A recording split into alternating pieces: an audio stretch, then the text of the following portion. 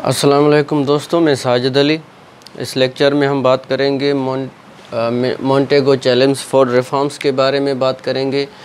ये आइनी रिफॉर्म्स हैं कॉन्स्टिट्यूशनल डेवलपमेंट जो बरतानिया की हुकूमत ने हिंदुस्तान में इंट्रोड्यूस करवाई, क्योंकि स्लोली एंड ग्रेजुअली जो हालात तब्दील हो रहे थे, उस हालात को मद्देनज़र रखते हुए जो बरतानिया की गवर्नमेंट कॉन्स्टिट्यूशन में तब्दीलियाँ ला रही थी कि लोगों की क्या राय है, क्या मसले हैं, उन सभी मसाइल को मद्देनज़र रखते हुए ऐसे ही कॉन्स्टिट्यूशनल रिफॉर्म्स आते रहते थे, जैसे हमने बात की थी एक लेक्चर में कि जैसे ही बरतानिया वालों ने एडमिनिस्ट्रेटिवली हिंदुस्तान पर कंट्रोल कर लिया था तो उन लोगों ने प्रेसिडेंसीज़ बनाई। प्रेसिडेंसीज़ में जो तीन बड़े शहर थे बरतानिया की अंडर में थे वो हुकूमत के अंडर में थे बॉम्बे प्रेसिडेंसी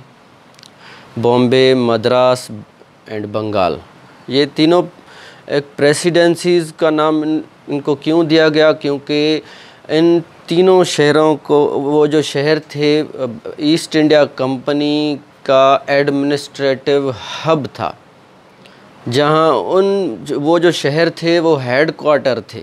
हेड क्वार्टर किसके थे? ईस्ट इंडिया कंपनी के हेड क्वार्टर थे और वो जो हेड क्वार्टर था एडमिनिस्ट्रेशन का हेड क्वार्टर थे। इसलिए बरतानिया की हुकूमत आहिस्ता आहिस्ता जैसे जैसे इलाक़ों पर कब्ज़ा करती गई, जैसे जैसे मुग़ल एम्पायर को ख़त्म करके पूरे हिंदुस्तान पर कब्ज़ा कर लिया और वार ऑफ़ इंडिपेंडेंस आज़ादी की लड़ाई के बाद अट्ठारह के बाद, बरतानिया की हुकूमत ने आहिस्ता आहिस्ता आइनी तब्दीलियाँ लाना शुरू कर दी, क्योंकि अब बरतानिया ने डायरेक्टली हिंदुस्तान पर कब्ज़ा भी कर लिया और हुकूमत भी कर रही थी।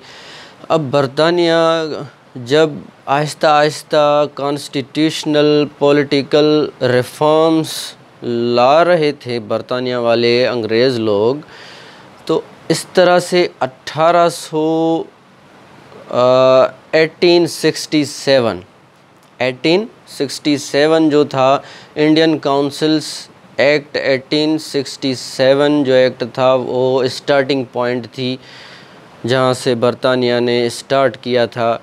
आहिस्ता आहिस्ता करके हिंदुस्तानी लोग थे जो वहाँ के नेटिव थे, उन लोगों को नॉमिनेट किया अपने कैबिनेट में आने के लिए। उनको भी कहा कि आप भी आ सकते हैं उन लोगों को भी नॉमिनेट किया। और इस तरह से हिंदुस्तानी जो लोग थे, वो भी काउंसिल में बैठना शुरू हो गए। आहिस्ता आहिस्ता उन लोगों की, पहले उन लोगों के पास पावर नहीं थी। उन लोगों के पास कोई भी ताकत नहीं थी कि पहले तो वो सवाल भी नहीं पूछ सकते थे। उसके बाद जैसे ही अट्ठारह में 1892 में फिर बरतानिया की हुकूमत ने जो रिफॉर्म्स लाए इंडियन काउंसिल्स एक्ट 1892 में उन रिफॉर्म्स में इंडियंस जो लोग थे जिनको हम कहते थे नॉन ऑफिशियल मेंबर्स और एडिशनल मेंबर्स भी हम उन लोगों को कह रहे थे। तो उनको आ, फिर 92 में 1892 में थोड़ा सा एक्स्ट्रा पावर दिया गया कि आप सवाल पूछ सकते हैं। और चैलेंज फॉर रिफॉर्म्स, ये जो है मोन्टेगो चैलेंज फॉर रिफॉर्म्स से पहले मिंटो मोरली रिफॉर्म्स भी लाए गए थे। वो 1909 में है 1909 में जो मिंटो मोरली रिफॉर्म्स में, जिसमें सेपरेट इलेक्टोरेट भी मुसलमानों को दिया गया था। तो उसमें थोड़े से जो हकूक़, थोड़े से पावर्स हिंदुस्तानी लोगों के बढ़ाए गए। तो दोस्तों, इस तरह से ये जो मोन्टेगो चैलेंज फॉर रिफॉर्म्स हैं, वो लाए गए थे 1919 में 1919 में। 1919 में ये लाए गए थे, ये मैंने पहले डिस्कस नहीं किया था, क्योंकि मैं ये सोच रहा था कि इंडिया एक्ट 1935 के साथ आपको ये बता दूँ, इंडिया एक्ट 1935 इससे पहले वाला जो मेरा लेक्चर है, वो है अलाहाबाद एड्रेस और राउंड टेबल कॉन्फ्रेंसेस, गोल मेज़ कॉन्फ्रेंसेस के बारे में वो 1932 तक हमने हिस्ट्री कवर कर ली है। 1932 तक अगर हमने हिस्ट्री को कवर कर लिया है तो ये जो हिस्ट्री का हिस्सा है, ये टॉपिक पहले वाला है। 1919 में ये इंट्रोड्यूस करवाए गए थे ये रिफॉर्म्स तो मैंने ये सोचा कि ये जो रिफॉर्म्स हैं Chelmsford reforms Montagu Chelmsford reforms और इंडिया एक्ट 1935 को मिलाकर मैं आपको एक ही लेक्चर में बताऊँ ताकि आप ठीक तरह से इन दोनों जो रिफॉर्म्स हैं, ये जो कॉन्स्टिट्यूशंस हैं, इनको कंपेयर कर सकें और आप ठीक तरह से समझ सकें। लेकिन ये मैं कर नहीं पाया क्योंकि ये मोन्टेगो फॉर रिफॉर्म्स जो हैं, इनमें से काफ़ी ऐसी बातें हैं जो डिटेल में मैं करना चाहूँगा आपसे। और काफ़ी जो इंडिया एक्ट 1935 में है काफ़ी जो डिटेल में है तो एक लेक्चर में ये मुमकिन नहीं था। इसलिए मैंने इनको दो लेक्चर्स में डिवाइड कर लिया है। ये हमारा लेक्चर होगा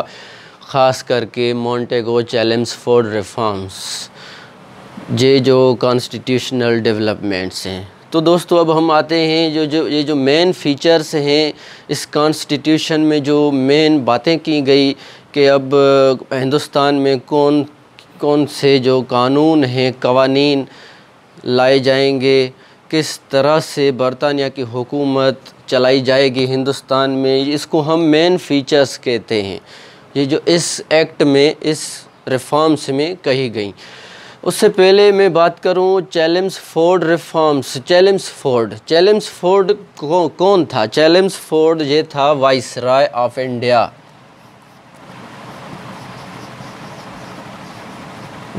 viceroy of India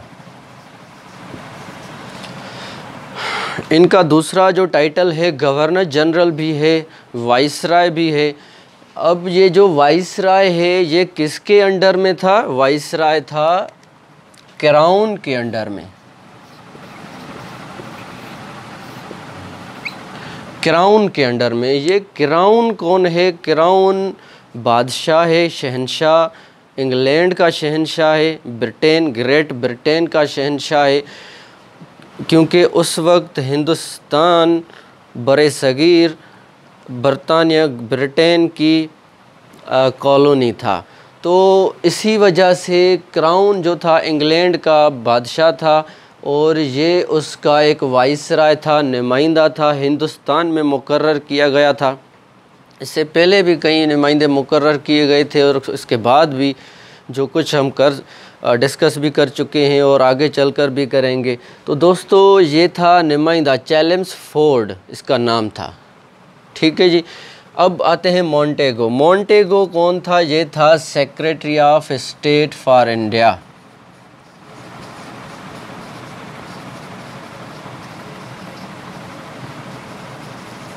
Secretary of state for India इसका भी बहुत बड़ा अहदा था वाइसराय के बाद इसी का ही अहदा था हिंदुस्तान में। इसको बहुत ज़्यादा पावर्स थे।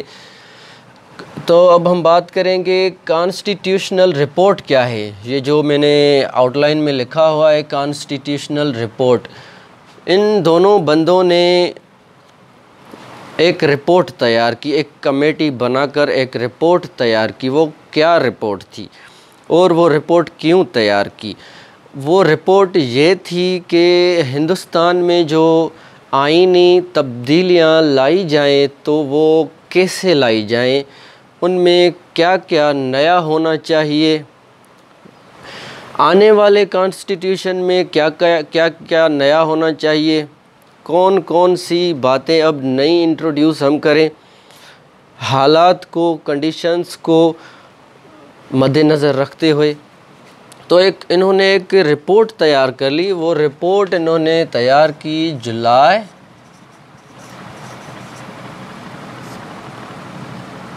उन्नीस सौ अट्ठारह में। 1918 में जैसे ही चैलेम्स फोर्ड और मोन्टेगो ने दोनों ने मिलकर एक रिपोर्ट जब तैयार कर ली तो उस रिपोर्ट को अब नाम दिया गया मोंटेगो चैलेम्स फोर्ड रिफॉर्म्स। इन बंदों के, ये जो दोनों बंदों के नाम हैं। अब रेस्पॉन्सिबल गवर्नमेंट इन रिपोर्ट का जो मेजर मकसद था हिंदुस्तान में रेस्पॉन्सिबल गवर्नमेंट इंट्रोड्यूस करना था। अब ये रेस्पॉन्सिबल गवर्नमेंट क्या है? रेस्पॉन्सिबल गवर्नमेंट हिंदुस्तान में पहले थी या नहीं थी? कब तक चली?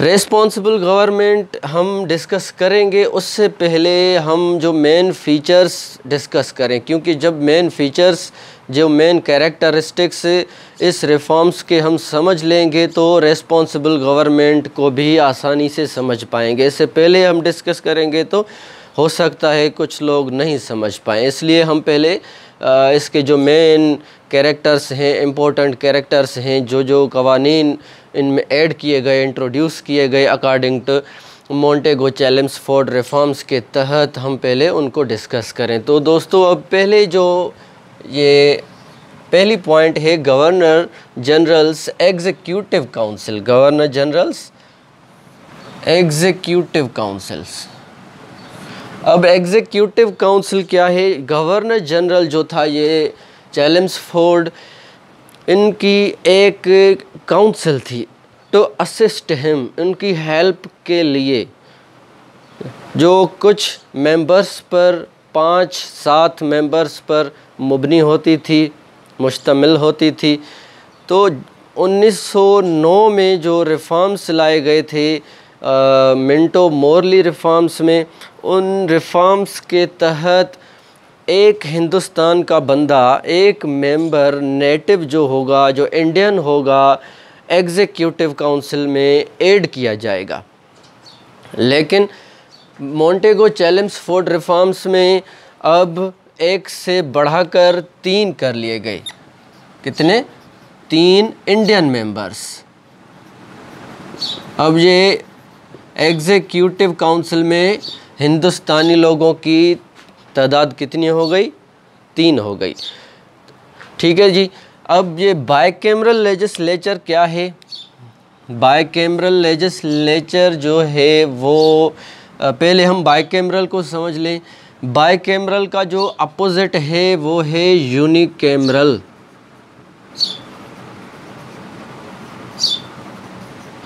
कैमरल यूनिक कैमरल यूनी मतलब एक, बाय मतलब दो।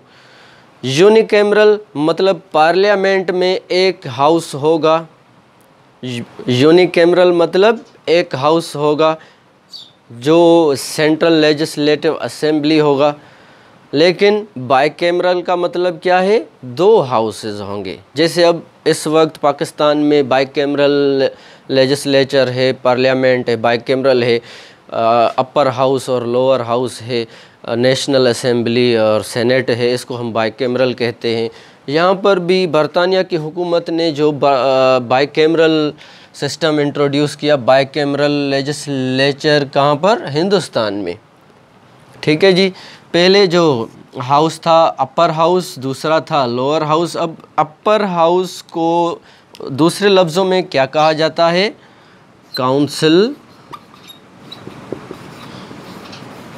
of state council of state भी अपर हाउस को कहा जाता है। इसमें मेंबर्स कितने थे? इसमें थे टोटल साठ मेंबर सिक्सटी साठ मेंबर थे।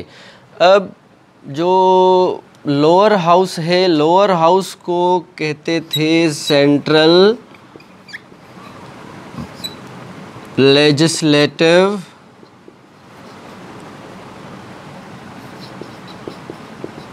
Assembly. Central legislative assembly भी इसको कहते थे. इंडियन लेजिस्लेटिव असेंबली भी इसका नाम है.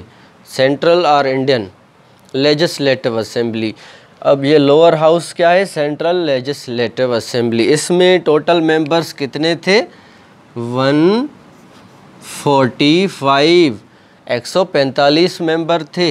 एक सौ पैंतालीस में से एक सौ पाँच जो सीट्स थी वो थी जनरल और छब्बीस जो थे उसको नॉमिनेट किया जाता था। मतलब जो जो 26 जो मेंबर थे 62 उन लोगों को ना तो कोई इलेक्ट करता था, ना ही वो लोग जो थे जनरल सीट्स में आ जाते थे, उन लोगों को नॉमिनेट किया जाता था। गवर्नर नॉमिनेट करता था। ठीक है जी, बकाया लोग जो थे वो नॉन ऑफिशियल थे, वो इंडियंस थे प्योरली अब सेपरेट इलेक्टोरेट की बात करेंगे पॉइंट नंबर थ्री की। Separate electorate for Muslims maintain किया गया, बरकरार रखा गया कंटिन्यूड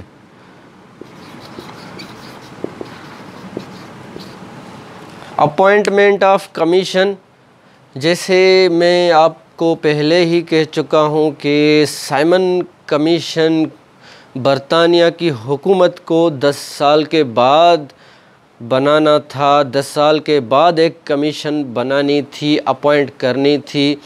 लेकिन बरतानिया की हुकूमत ने दो साल पहले ही मुकर कर दी एक कमीशन, जिसको हमने साइमन कमीशन कहा, जिसमें सात मेंबर थे।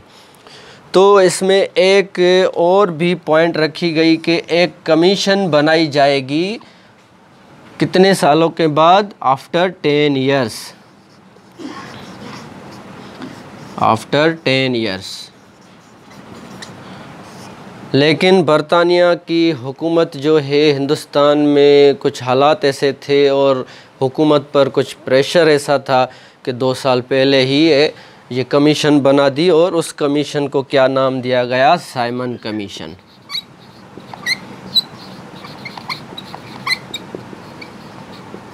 ठीक है जी, ये बनाई गई उन्नीस सौ सत्ताईस में। उन्नीस सौ सत्ताईस में बनाई गई, लेकिन इनको कब बनानी थी? उन्नीस सौ उनतीस में बनानी थी। दो साल पहले बना दी। तो अब हम आते हैं पॉइंट नंबर फाइव पर, जो कही गई थी इस रिफॉर्म्स में की सिस्टम। ये की सिस्टम, ये एक मेन और नई बात थी, नया कानून था जो इस रिफॉर्म्स में आइनी तब्दीली में लाया गया था। डी की सिस्टम क्या है? डी की का मतलब है ड्यूअल सिस्टम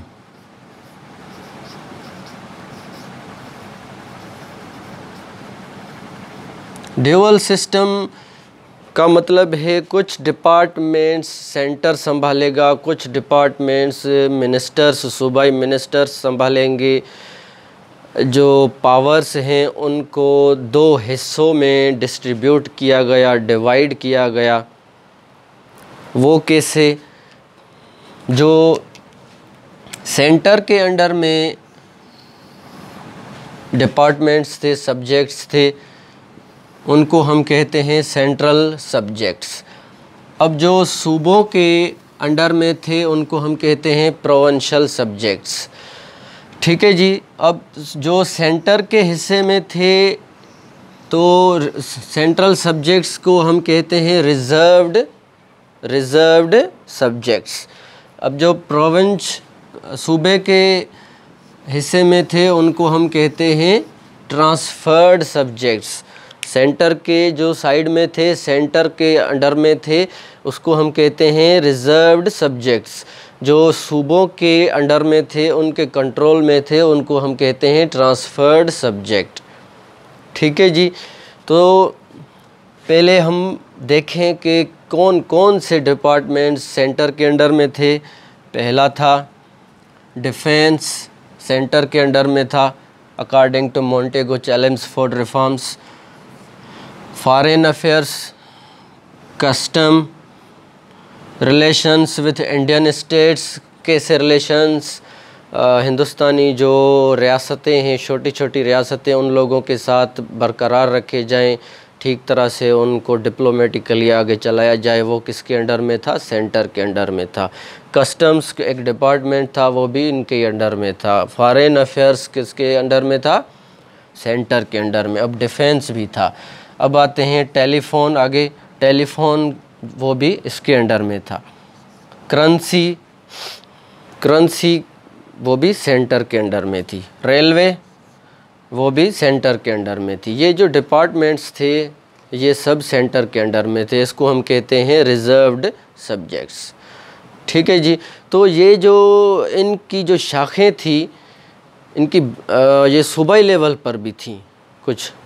कुछ जो इन लोगों में थे या कुछ ऐसे डिपार्टमेंट्स थे बड़े बड़े डिपार्टमेंट्स वो सूबों में भी थे, जैसे रेलवे या कोई और डिपार्टमेंट होगा इसमें, या कोई भी extra department ex powerful department जो सूबों में था तो सूबे में जो ये जो थे ट्रांसफ़र्ड सब्जेक्ट इनको भी दो हिस्सों में ही डिवाइड किया गया। पहले तो इनको ट्रांसफ़र्ड बनाया गया जो मिनिस्टर्स के अंडर में थे जो इलेक्ट होकर मुंतखब होकर जो नुमाइंदे आते हैं काउंसिल में असम्बली में बैठते हैं, उनके, उनको मिनिस्ट्रीज़ दी गई, उनको कुछ डिपार्टमेंट्स जो दिए गए हिंदु हिंदुस्तान में जो सूबों को, वो पहले तो हम वो डिस्कस करें। Self government public health education irrigation और एग्रीकल्चर ये जो डिपार्टमेंट्स थे, ये सूबों के अंडर में थे। अब इनको कौन संभाल रहा था? इनको संभाल रहा था, वो थे मिनिस्टर्स तो ये मिनिस्टर्स मुंतखब किए हुए नुमाइंदे थे, ये संभाल रहे थे। अब हम आते हैं सूबे पर। सूबो, सूबे में ये जो था कि डिपार्टमेंट्स को भी दो हिस्सों में बांटा गया।